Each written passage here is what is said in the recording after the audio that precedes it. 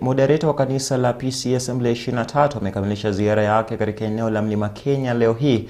Katika hotuba na mafunzo aliyoyatoa katika kanisa la PCA Karatina, Kasisi Thego Mtai amesisitiza kauli mbiu ya Assembly 23 akiwataka Wakristo wa kanisa hilo kutafakari njia zao pamoja na viongozi waliohudhuria wakiwamo katibu mkuu, ndugu wake na wakurugenzi wa vitengo mbalimbali wametoa sisitizo kwa waumini wa PCA kumbatia kanisa lao na kutotilia mkazo kwa changamoto zilizopo kwa sasa. Vile vile wame- wamekita kizazi ama wamekitaka kizazi cha sasa kuzidi kuzingatia maadili na kanuni za kanisa hilo pasi na kwa wenye kulalamika.